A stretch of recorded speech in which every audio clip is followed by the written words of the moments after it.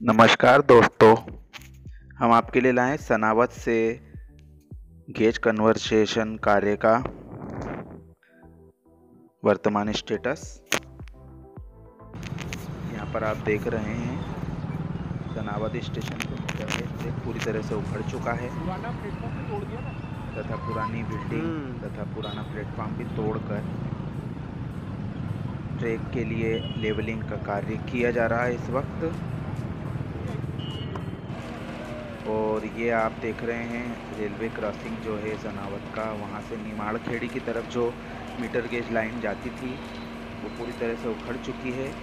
यहाँ पर भी ट्रैक के पास में बाउंड्री वॉल का निर्माण किया जा रहा है तथा ट्रैक के लिए लेबलिंग के लिए यहाँ पर कार्य हो रहा है। प्लेटफार्म पर बिल्डिंग तो तैयार हो चुकी है पूरी तरह से शेड का लगाने का कार्य यहाँ पर गड्ढे किए जा रहे हैं शेड लगाने के लिए। तथा प्लेटफार्म आधा जो बन चुका है और आधा और बनने के लिए यहाँ पर खुदाई हो चुकी है। एक डेढ़ महीना गुजरने के बाद में भी रेलवे द्वारा यहाँ पर उतनी तेज़ गति से कार्य नहीं करवाया जा सका है, जितना कि उम्मीद थी। रेलवे द्वारा मार्च 2020 में खंडवा से सनावत के बीच ट्रेन चलाने की जो समय सीमा तय की है, वह सनावत में जिस गति से कार्य चल रहा है, उसको देखकर कहा जा सकता है कि उस डेडलाइन तक तो शायद यह कार्य पूरा हो पाएगा यहाँ पर।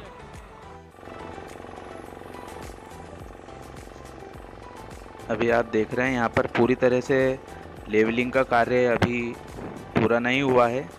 जो जिस पर ट्रैक बिछाया जाना है, तीन लाइनें बिछाई जानी हैं। अभी मिट्टी डाली जा रही है तथा फिर इसे समतल किया जाएगा। अच्छी हाइट दी गई है यहाँ पर प्लेटफार्म को।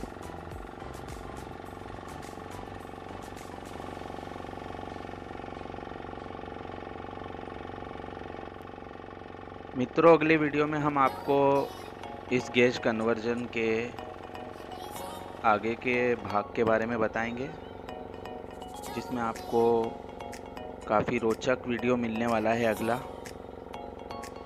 इसलिए अगला वीडियो देखना ना भूलें।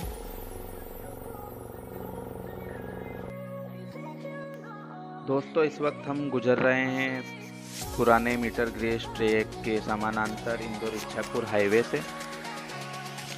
यहाँ से हम ओंकारेश्वर स्टेशन की ओर जा रहे हैं। वर्तमान में यहाँ पर सनावत की ओर जो रेलवे लाइन है, वो बिछी हुई है, क्योंकि यहाँ पर से तीन मीटर गेज ट्रेनों का संचालन महू के लिए किया जा रहा है। वर्तमान में इस स्टेशन पर अभी गेज कन्वर्सेशन से संबंधित कोई भी प्रगति देखने को नहीं मिल पाई है हमें। तथा ऐसा सुना था कि इस स्टेशन से सनावत की ओर तकरीबन डेढ़ किलोमीटर आगे नया ओंकारेश्वर स्टेशन बनाए जाने की योजना है। उसके बारे में भी हम आपको अगले वीडियो में जानकारी उपलब्ध कराने की कोशिश करेंगे। तब तक आपसे उम्मीद है कि आप हमारे साथ में जुड़े रहेंगे। धन्यवाद आपका।